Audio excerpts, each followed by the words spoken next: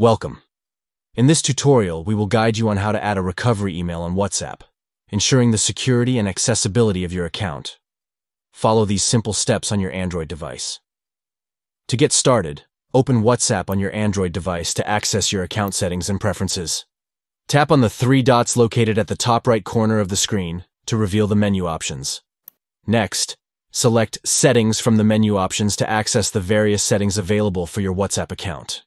Within the Settings menu, tap on Account to manage your account details and security settings. Select Email Address from the account settings to add or update your recovery email information. Tap on Add Email to input the email address you wish to link as your recovery contact. Enter your email address in the provided field and tap Next to proceed with adding the email to your WhatsApp account. You will receive a verification code to the email address provided. Enter the verification code in WhatsApp to confirm and link the email successfully.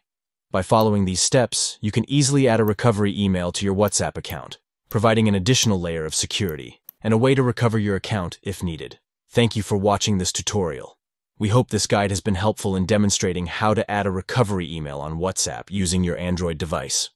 Stay proactive in safeguarding your account and enjoy a secure messaging experience.